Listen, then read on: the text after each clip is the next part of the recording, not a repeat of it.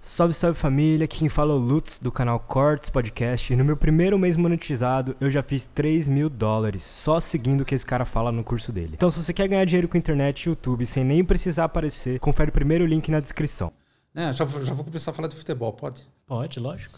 É, eu, eu, puta, como eu gosto de futebol, cara. Cara, eu tô começando... Sabia que eu nun- nunca... Eu nem tenho time. Nunca gostei de Então, futebol. então, então você vai aprender agora. Boa. Tem uma grande seleção que todo mundo fala até hoje que ela não ganhou, que é a seleção de 82. Né? Do Brasil. É, Zico, Sócrates tal. Os caras, putz, eram geniais. E machucou, na época, o Reinaldo e o Careca também. Ambos machucaram. Que era o centroavante. O Reinaldo Atlético Mineiro, o Careca, acho que na época do São Paulo, Guarani, acho, acho que era do São Paulo. Putz, os caras eram monstros. Aí eles machucaram. Aí o Tele Santana teve que trazer. E trouxe o Serginho Chulapa do São Paulo, que é um jogador ruim pra caramba. Fazia um monte de gol tal, mas ele era um cara grossão. E uma vez eu vi uma entrevista com ele, e os caras falaram, pô, Serginho, como é que é jogar, é ter jogado em 82? Aí ele falou uma coisa, eu nunca mais esqueci. Ele falou assim, puxa, para mim foi uma honra ter jogado ao lado daqueles caras. É, eu sabia que eu estava num outro nível. Falei. Que é o que todo mundo falaria dele. Que ele poderia falar, eu joguei em 82 ao lado do Sócrates, do Zico, do Falcão. Nossa. não, não, não. Uma coisa é uma coisa, outra coisa é outra coisa. Então, resultado, quando a gente ouve esse tipo de, de, de, de declaração, forte. né, você fala, puta, o cara é de fato humilde. Que é o que todos nós deveríamos ser em relação à, própria vida, né? Você não precisa nem ser o sujeito mais especial frente à vida, oh meu Deus, como também não é, não é, não é que você vai virar um zero, você vai descobrir a sua importância, as suas coisas, a sua verdade. É aí que eu acho. Eu acho que a análise ajuda a gente a isso. Porque essas coisas grandiosas do ego a gente chama de identificações. A gente se identifica ao nosso pai, à nossa mãe, ao nosso sobrenome, à nossa cidade, né? A gente está falando de Santo André aqui. São identificações. A gente acha, ah, isso é importante. Importante para você, é nada. Não, porque eu sou fulano de tal, e daí? Então, no fundo, o que realmente importa? A sua verdade, o que, que de fato é verdadeiro para você. A gente chama em psicanálise de simbólico. Aquilo que você de fato pode é, reescrever a sua história de vida a partir, por exemplo, de uma análise, que é o que a gente está falando, um tratamento. Né? Como é que você pode reescrever o seu passado, que não muda mais, né? você ressignifica o passado, você nunca. Ah, vou voltar lá atrás para mudar, esquece. Você, você ressignifica, você pode reescrever uma nova vida. Isso vai ser importante para você. Pode coincidir de ser importante para a humanidade, lógico que pode. Claro, o Freud é um exemplo, mas putz, o Freud era muito humilde, em vários momentos ele falava umas coisas eu falava, caramba, cara poderia ser muito mais arrogante, prepotente, né? Ou se auto, né? Referenciar, gente, como eu sou demais. Menos, menos, menos, menos. Agora, isso, o, o, o Lutz, precisa de muita análise, né? Puta, isso é difícil. Desinflar o ego não é fácil. Não, não é fácil. Porque o ego é, é, ele, nos, ele supostamente nos garante, por isso que a gente tem, tem um termo, inclusive, na psicologia que eu gosto muito, que eu acho muito interessante, são os mecanismos de defesa inconsciente do, do ego. Então vamos lá, quais são? Vou, vou dizer algum. Negação, eu nego. Ô, ô Leandro, você não está bebendo demais, você não é alcoólatra. Você está louco? O que é alcoólatra? O quê? Não, eu bebo socialmente. Ô, Leandro, você não gasta demais, cara. Seu cartão de crédito está sempre estourado. Você ganha 5 mil, gasta 8. Não, que eu mereço, eu trabalho pra caramba. Então o cara nega e racionaliza, né? Ele tenta te convencer, né? Uma vez eu, eu li, um, eu li um, um, um livro sobre os pecados capitais. Eu estava lendo vários, e aí chegou na inveja, o cara foi entrevistar um pai de santo. Aí o pai de santo falou: vou incorporar aqui o, sei lá, o espírito o cara entrevistou o espírito. O cara falou: Oi, como é que é a inveja? Aí o espírito falou: Putz, essa é a parte mais difícil. Ele falou assim: ninguém aceita, a gente só vê inveja do outro, né? Então ele falou assim: todo mundo chega no centro espírita, sei lá, de Umbanda, você lembra? O cara falou: Ó, você está carregado de inveja. Você tem que chegar em casa e tomar um banho de sal grosso. Aí o cara chega em casa, a mulher dele, e aí, querido, fui lá no centro. Falou, Pô, tô carregado de inveja, preciso, to- preciso tomar um banho de, de sal grosso.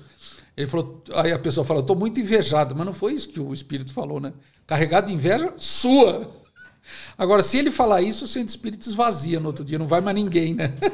Total. Claro, né? Total, cara. Porque é o ego, né? Então eu não tenho defeito, eu só tenho virtudes. Ou só tenho os defeitos que me interessam, que é o caso do sofredor. Ninguém sofre como, ai, gente, como eu sofro. Tanto o, o analista ele não compra essas ideias rapidamente, né? ele fica mais esperto com isso. Né? Porque são, são artifícios do ego para iludir a pessoa. O ego é uma grande ilusão. E aí, por isso que a gente discorda, nós psicanalistas, muito da autoajuda, que a gente acha que infla o ego da pessoa. Autoajuda influega? Influega. Aí depois o que gente... você considera como autoajuda? Então, porque a gente acha que depois o sujeito quebra a cara. O que, que eu estou criticando de autoajuda? É importante eu deixar claro minha posição, né? Eu acho que a autoajuda lá atrás, eu lembro, eu me recordo, eu li é, livros de autoajuda quando eu tinha 15, 16 anos e me faziam pensar. É, eu acho que as pessoas, uma parte das pessoas estão muito mal, muito mal mesmo. E ela vai buscar ajuda. Vai na religião, vai na autoajuda, vai na psicanálise, vai no centro espírita. E ela está certa, ela tem que procurar o que é melhor para ela. O problema de todo o discurso da autoajuda é que é depende de você, basta você querer, tá. basta você se esforçar. Porra, gente, a vida não é assim. Você tem que se esforçar, claro, tem que querer, óbvio, porra, claro. Não, não adianta você, ficar deitado na cama que não vai acontecer nada.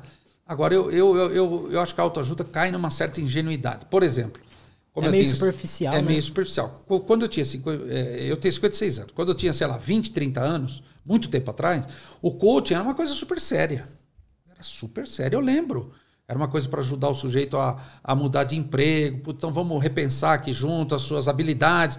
Pô, vamos ver o seu currículo. Pô, na entrevista, quando o cara te pergunta o que você fala. Eu achava super importante. Hoje virou uma babaquice. É coaching de emagrecimento, é coaching de beleza, coaching de criança. Eu nunca vi isso. Como coach de criança? Para que criança precisa de coach? Criança precisa brincar. Então, resultado: tudo vira comércio. A psicanálise pode virar também, o, o, o podcast pode virar comércio. Tudo vira comércio hoje em dia.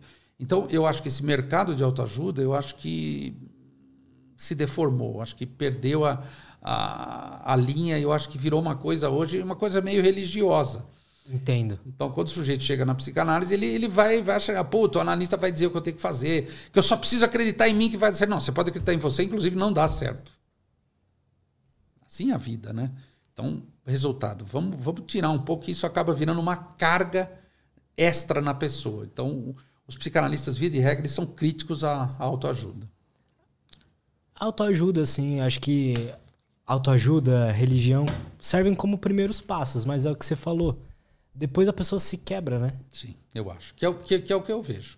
Por mas é exemplo, é importante também ela se quebrar, não Sim, eu acho. Eu acho que ela aprende. Mas, por exemplo, Lutz, eu, eu, eu, eu faço uma comparação com emagrecer. Tá. Né?